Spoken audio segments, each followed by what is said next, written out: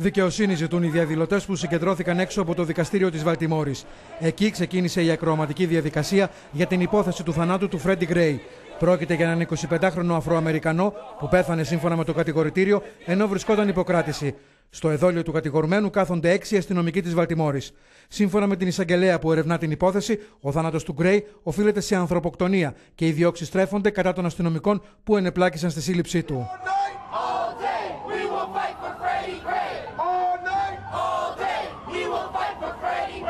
Στην έναρξη της διαδικασίας, ο πρόεδρος του δικαστηρίου απέρριψε τα αιτήματα των συνεγόρων υπεράσπισης των κατηγορουμένων.